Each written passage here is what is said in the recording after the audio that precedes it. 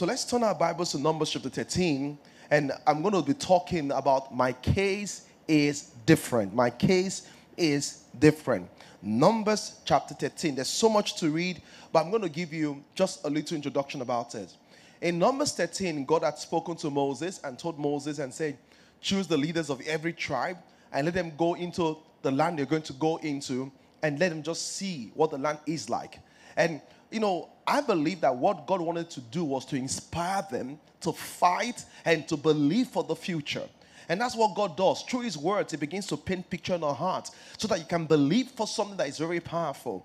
And when this man went and saw and came back, you know, instead of them to come back and see through the eye of faith, they began to see through the eye of fear. And let me say something to you.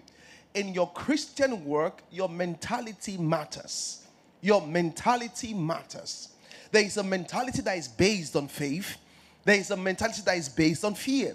There's a mentality that is based on faith that is so positive. There's a mentality that is based on fear that is so negative. And let me say, this is how you know people see the same thing but have two different kind of result and um, response some people see something and it results into fear. Some people see something and it results into faith everybody saw goliath. And when they saw goliath they ran away. When david saw goliath he ran towards goliath. The reason why was this his mentality was based on faith but their mentality was based on fear. The question today is this with all that is going on around you, what mentality do you have? You know why? Until your mentality is different, your actions will not be different. If you're going to have a different kind of result, then your mentality must be different. Why?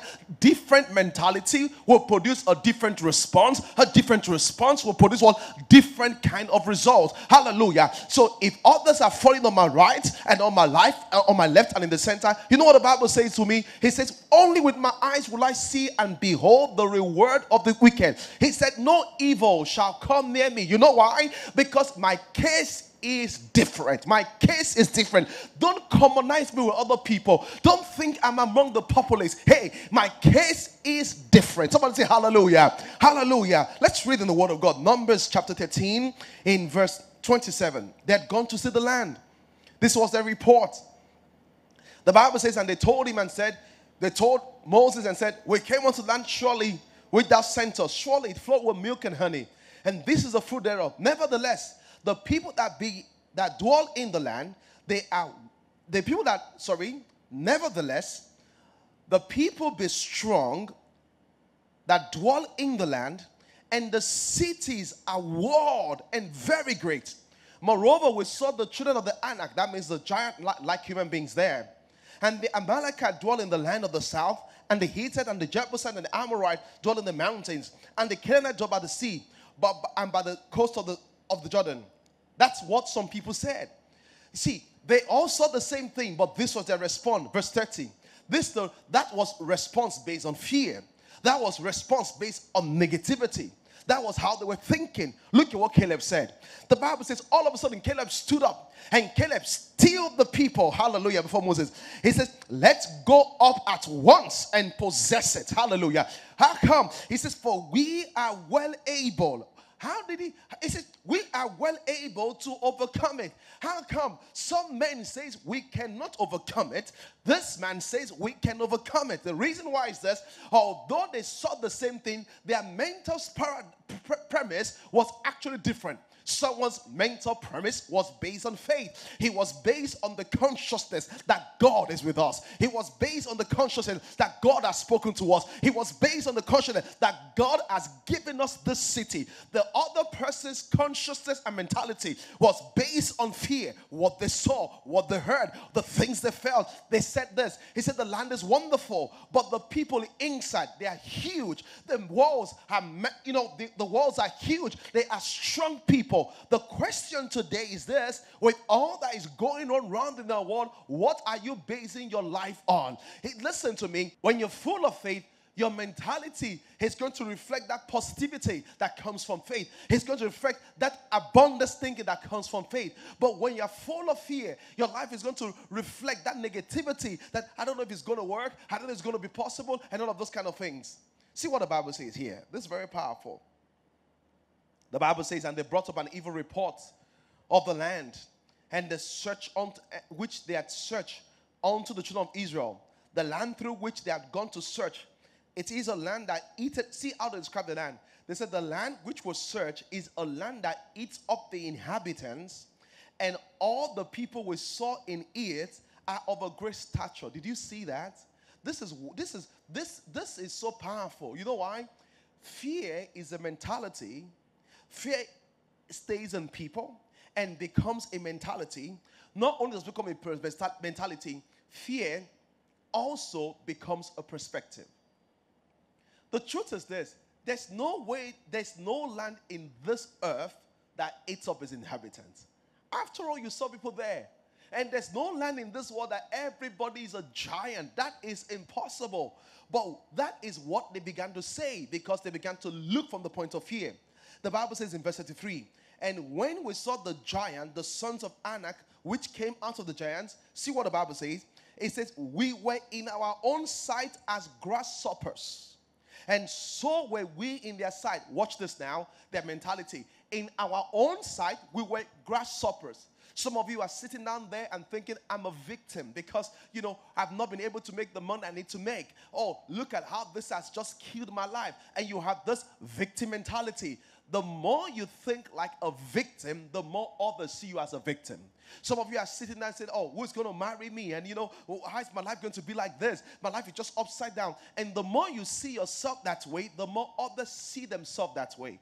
But Caleb and Joshua did not see themselves the way others saw them. They saw the same thing, they saw the same attack, but the response was categorically different because their mentality was different. One person moved from the paradigm of faith, another person moved from the paradigm of what? Of fear. Somebody say hallelujah. In tough times, you must realize that what will see you going through is the power of your faith. The power of your faith. So there are two key paradigms or men- mentality. There's a mentality that is based on faith, and there's a mentality based on fear. How do you know you have a mentality based on fear? When you have a mentality based on fear, two key things manifest. Number one is the negativity. You look like life and you're so negative about life. You go like, you know, will, will my child succeed? Will we make it through this phase? Am I sure I've not lost everything forever? You know, am I sure that life is not going to come to an end? I'm so scared. I'm so worried. Maybe I'm going to become sick. I don't know why I feel nausea this morning. Maybe I'm sick already. And you look from a place of negativity. That shows you are working on the paradigm of fear. The second thing is this when you're walking on the paradigm of fear, you begin to think of scarcity. You begin to think of, oh my God, it's not going to be enough. We have to just prepare. The worst is to come because that's what fear does. Fear helps you keeps you informed that the worst is ahead of you and the best is behind you. Faith doesn't say that. Hallelujah. Because the same way fear is a perspective, faith is actually superior perspective. I love the way the Bible says it in the book of Second Corinthians chapter 5 in verse 7. He says, We walk by faith and not by sight.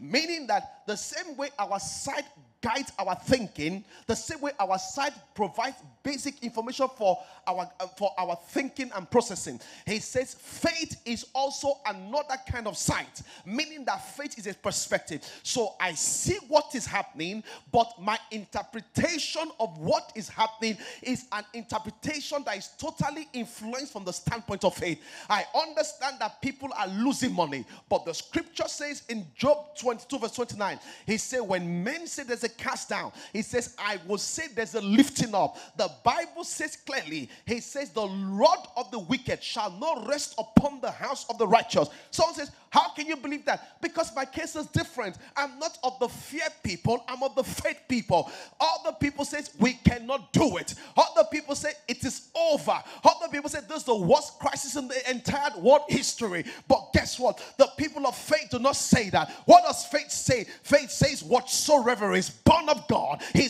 overcomes the world. And this is the victory that overcomes the world. Either you are sitting on your couch, or you've been in the house for such a long time, or things have gone so bad, or you're heading towards a divorce. Faith says that your tomorrow can be better. He says, if you have hope in God and God can be on your side, it's going to turn into a full blown testimony. Say amen.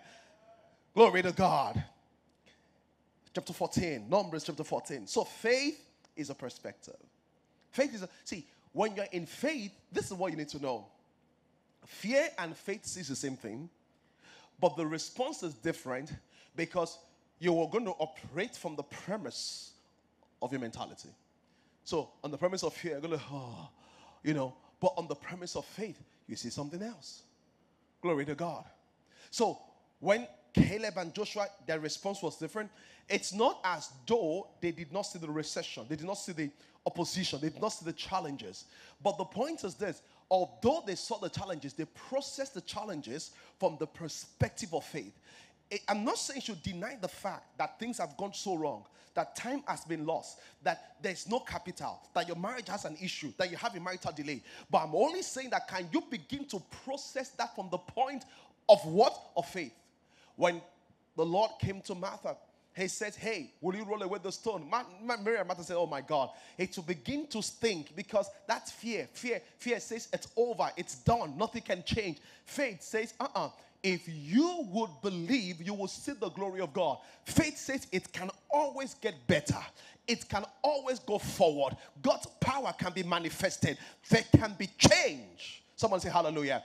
Why faith leads to positive kind of thinking you know, let me put it this way why faith will lead to positive mentality, faith will lead you to abundance kind of thinking. In this season, many people are withholding back, everybody preparing for the worst. Listen to me, I'm not preparing for the worst. I'm preparing myself, I'm preparing because things are going to get better. Hallelujah. That's my thinking. Things are going to get better. Listen, people say it's going to last for such a long time, but things are going to get better. How do I know that? The Bible says, Say unto the righteous, it shall be well with you. You will not die as a woman without a child. You will not end up as a single girl without a husband. You will not end up with a folded up company. All the money that is lost, we're still going to come back. That is a perspective of faith. Why fear things of scarcity? It's going to get worse. It's going to get terrible. And this and that. Faith says, No, if I would believe, all things are possible to him that believeth. I believe that no evil shall come near me. Praise God. And no plague shall come near my dwelling place. I believe that, you know what I believe? Psalm 91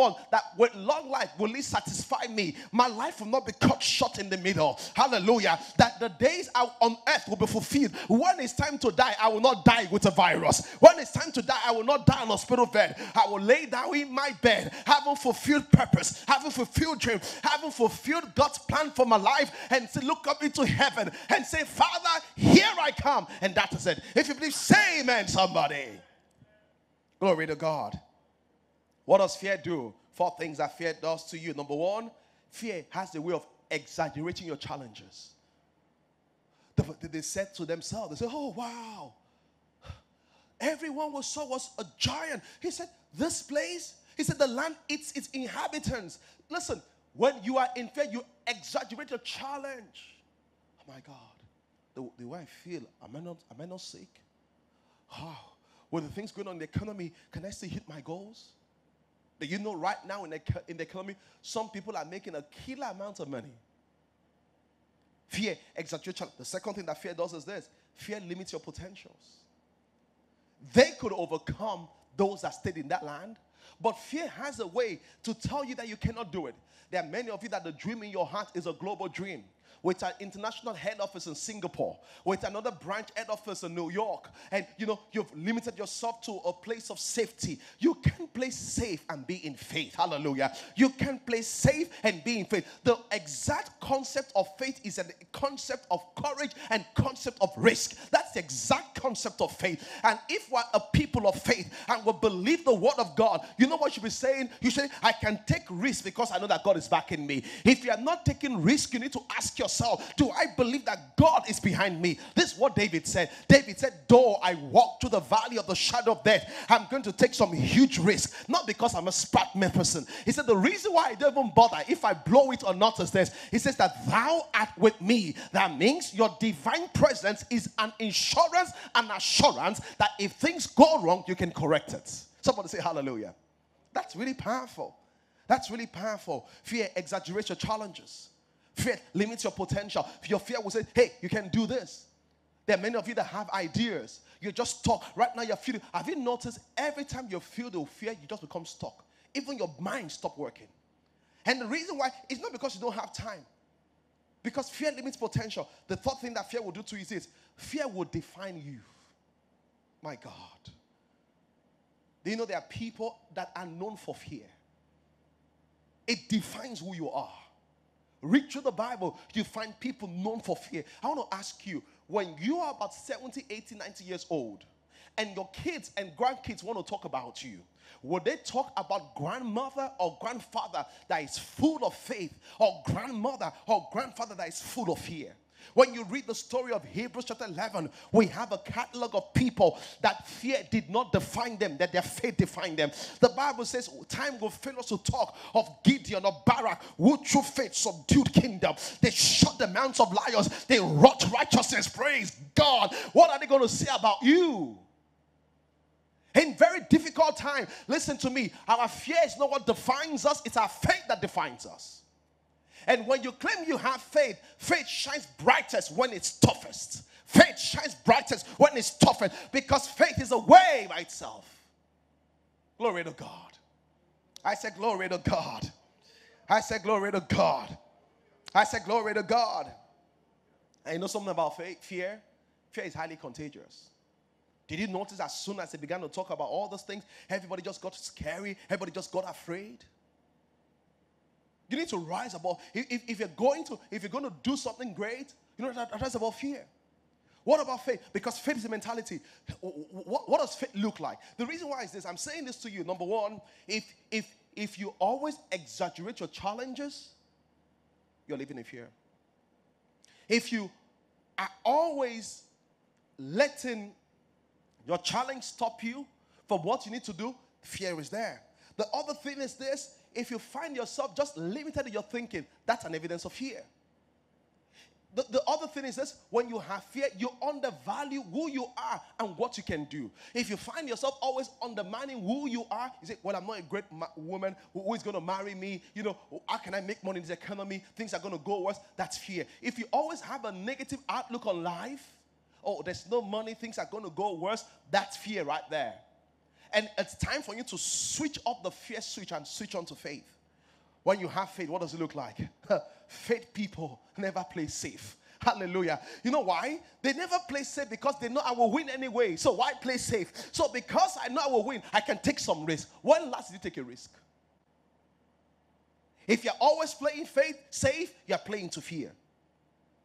What does faith people? And listen to me. How do you know you're in, in faith? Because when you are in faith, you would be taking risk because you understand you cannot succeed without risk. Not only can you not succeed without risk, you cannot grow without risk. Your risk capacity will limit your success. Your risk capacity will limit your success. So if you're in faith, you are thinking positive, you are taking huge risk. This is the season where a lot of people are holding back. But guess what? This is a season where the world needs help. People need help on the right. People need help on the left. This is not the time for us to withhold what we have. This is the time for us to be sowing seed. This is the time to call someone and sow encouragement and sow some prayers and help people in Italy and help people and, and you know giving our tithes and giving our offering and ask and say, what can we do as a church to provide food for people? What can we do as a church, you know, to help people that are stranded? What can we do as a church to help that experiencing recession? Because everyone seems to be experiencing something. People that have fear cannot think that way because they're already afraid that it will not be enough. They're already afraid that they're in trouble, so they can't help other people. People that have faith are saying that, praise God, better days are ahead of me. I can do something to help someone. The question is, are you living in fear of faith? You know, when I read the story of Jesus, how he multiplied the bread, and the Bible says he took a child a child's lunch. What I asked myself was this Really? In that meeting that had about 10 or 20,000 people, it was only one young boy that brought lunch for the meeting? What about all the wealthy men that bought their that came on their cattle? They didn't bring lunch? No. Every, most of them brought food, or some of them brought food. But it was only the young boy that had faith enough to trust. If I release what I have to God, it will be a blessing to other people and I will not go back hungry. Fear says, if you release what you have to God, you will die of hunger. Faith says, if you release what you have to God, it will bless people all over the place. And guess what? It will also come back and bless you. Let's just a question. When they finished feeding the 5,000 and there were baskets of food left behind, let me ask you, what do you think owned it? It could be nobody else except the young boy. The reason why was this it was one that gave them the raw materials to transform the miracles. He was the legal owner to all those loaves of bread. Question Are you living in faith? Has your faith made you so selfish and self centered? And I'm saying so because in the time of crisis, one of the things that the devil wants you to do is number one, to give up on your dreams to narrow your dreams. The other thing also wants to do to enter into a mode of self-preservation. That's the same self-preservation, where you're like, you know, you're like, I'm just thinking of myself and, and survival. And listen, once you enter into self-preservation and survival, prosperity and advancement is far from you. And that's why next week you need to tune in next week Sunday.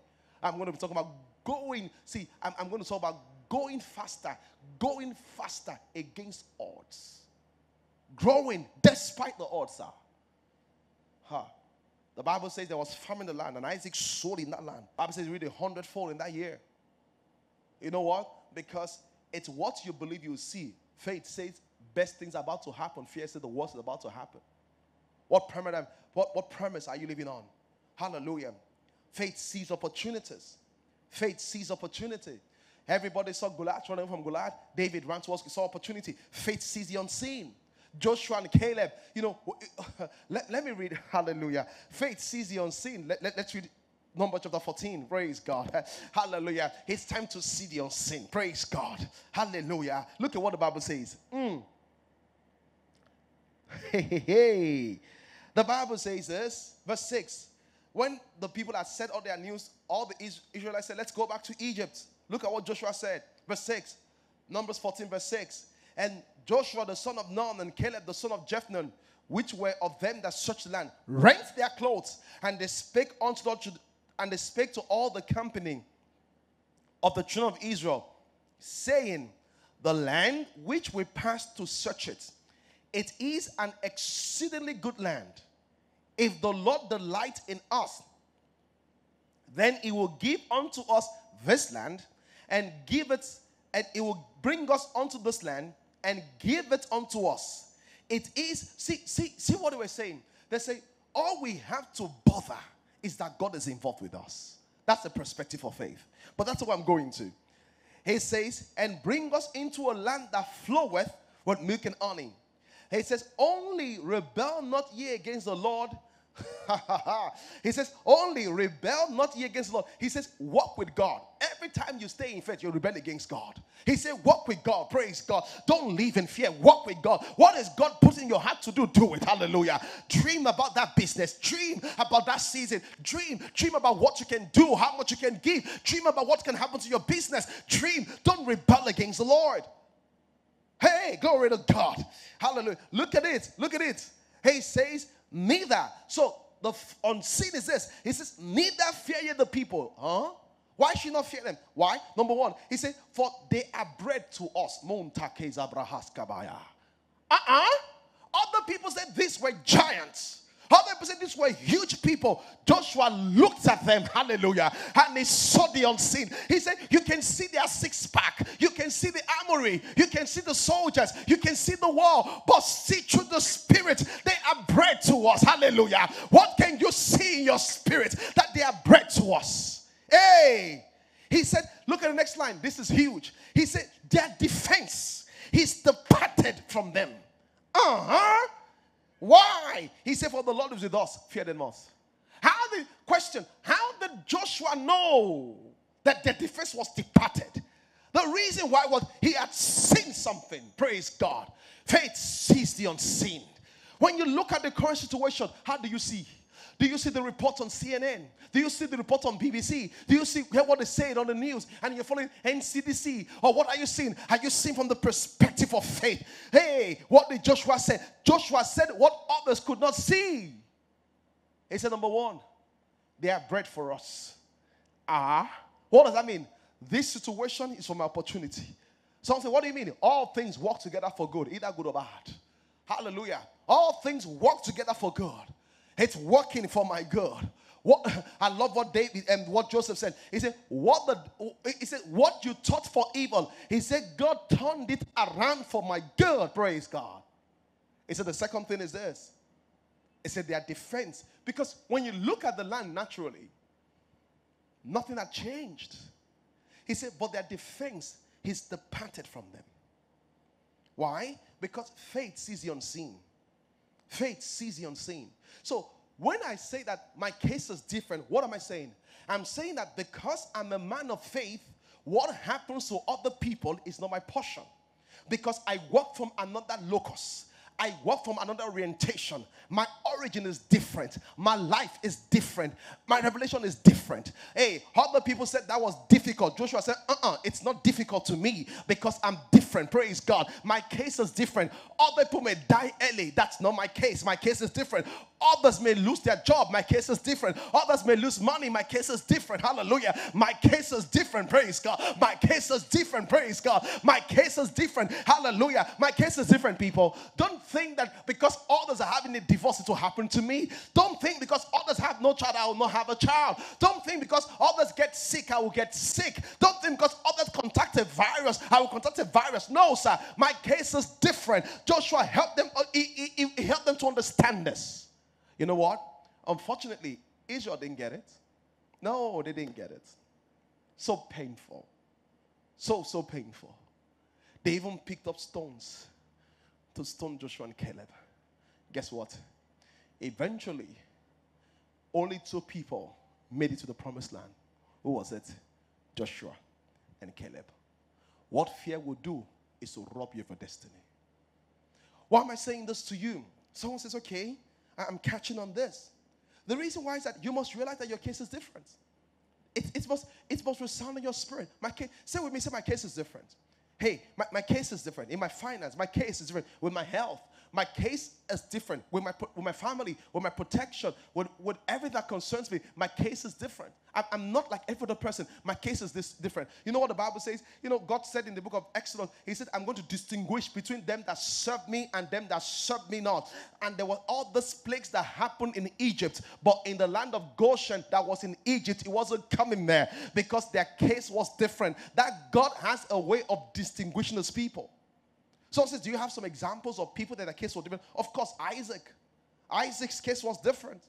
Bible says when there was a famine, Isaac sold in that land. He had a hundred-foot return. Business people, this is not the time to cave in. Your case is different. This is the time to be aggressive. You are planning strategies, looking for new opportunities because your case is different. This is not the time to be overwhelmed and hopeless and say, How would I pay all the bills? No, sir. You say, What new opportunities have been unveiled to me? This is a time where we are sowing seed. This is a time where we are giving like never given before because our case is different. We're not operating from a fear perspective, we're operating from a faith perspective. Look at Israel. The angel of death was coming and killing all the firstborns. But when it came to the Israelites' house, he said, When I see the blood, I will pass over you. You know why? Because their case is different. Everything can go wrong, but my case is different. The devaluation can affect everybody, but my case is different. My case is really different. Glory to God. My case is different. Look at Noah. Everybody was affected by the flood. Only Noah was not affected by the flood. Question how, uh, how, how do you come to a place where you realize that your case is different? You know you come to that kind of place? The way you come to that kind of place is very simple. Hallelujah. It's a place of revelation. What's revelation? Ha. You go to First John chapter 4, verse 4. First John 5, verse 4. He says, Whatsoever is born of God overcometh the world. He said, And this is the victory that overcomes the world, even our faith. Listen, I'm not trying to succeed. I'm an, I'm, I'm, an overcomer. I'm not trying to do well. No, I did well before. The Bible says, Blessed is the man. He said, Blessed is the man. I'm the blessed man. I'm like a tree planted by the rivers of water that bears its fruit in season. Praise God. All things are working together for me. Praise God. You make it your mentality. Let me tell you, let me challenge you what to do. You, you know, this is this is the thing about Christianity. A lot of people They want to practice Christianity as if it's talisman. I say, my case is different, my case is different. Uh-uh, it doesn't work that way. For your case to be different, eh, you must walk on revelation. And revelation does not jump on you, you go for it. In this season, you will turn off, let me tell you something. You will turn off television, you will turn off radio, you'll bring out your Bible. You'll go to Harvesters Lekki TV, Harvesters TV on YouTube. You go to the messages and get your Bible and paper and begin to read the Bible. As you are reading Revelation, there will be something that will leap out of the book and dawn on your spirit. Once you cut it in the word, that's it. Listen, that revelation, you now allow it sink inside. It begins to affect the way you think. All of a sudden, you just say, Oh my God, things are down for everybody. Say, Things are down? What do you mean? You know why? Because all of a sudden, your inner reality are more real than what you can see. So there's no way you can say otherwise because you understand that your case is different. Let me tell you something. There are some of us that are operating under open heavens. There are some of us that have a grace cover. You know what a grace cover is? It's like holding an umbrella. When it's raining, raining, raining, raining, raining, people under the umbrella see the rain, but it don't eh, it doesn't come on them because there's a shield. There is a grace cover, but that grace cover is activated by revelation. Let me say something to you. The one that does not know he has something is the same thing with the one that doesn't have it at all. You can never take advantage of what you don't know. So the first step is this you are going to get revelation. You are going to go as a businessman and write two or three scriptures that pertains to your health, pertains to your family, pertains to your prosperity. And every day you sit down and meditate on it. And meditate because you are trying to teach your mind what you want it to do. You are trying to teach your mind what to do. It's the power of revelation.